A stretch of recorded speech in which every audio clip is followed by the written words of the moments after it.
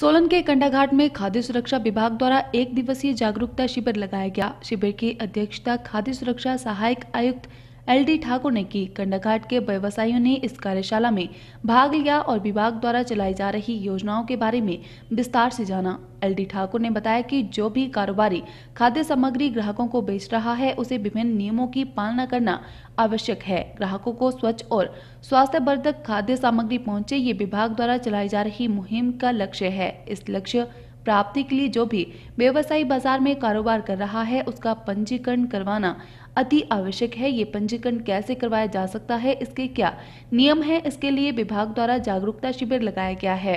खाद्य सुरक्षा सहायक आयुक्त एल डी ठाकुर ने बताया कि एफएसएसआई द्वारा इट राइट चैलेंज प्रतियोगिता चलाई जा रही है, जिसमें सोलन जिला भी भाग ले रहा है। इस प्रतियोगिता में, जिस जिला में सबसे स्वच्छ और नियमानुसार खाद्य सामग्री और पकवान बिकेंगे, उसे प्रथम स्थान दिया जाएगा। इसलिए विभाग द्वारा जिला के विभिन्न क्षेत्रों में जाकर व्यवसायियों को जागरूक किया जा रहा है कि वे नियमानुसार व्यवसाय करें। अपने व्यवसाय का लाइसेंस और पंजीकरण अवश्य करवाएँ। बाज़ार में मानकों के अनुसार ही स्वच्छ खाद्य पदार्थ ही बेचें। उन्होंने बताया कि शिविर में पंजीकरण और लाइसेंस लेने के लिए क्या औपचारिकताएँ हैं, इस बारे में भी विस्तार से जानकारी विभाग द्वारा दी जा रही है। साथ में विभाग द्वारा चलाई जा रही विभिन्न योजनाओं के बारे में भी विस्तार से बताया गया।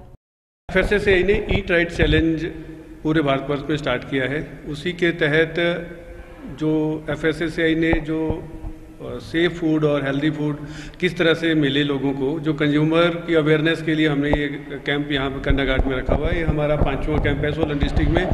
सोलन डिस्ट्रिक्ट भी इस चैलेंज में पार्टिसिपेट कर रहा है।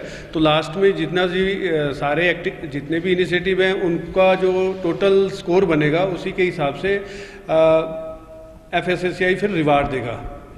और यहाँ पर हमने जो शिविर लगाया इसमें लोगों को जो लाइसेंस और रजिस्ट्रेशन से संबंधित कोई भी आ, उनकी दिक्कत थी उसको दूर करने के लिए।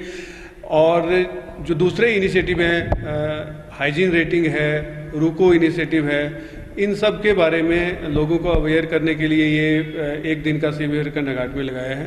तो इसमें काफ़ी लोगों ने भाग लिया और जो भी उनकी समस्या थी उनको सुना और मौके पर उसका समाधान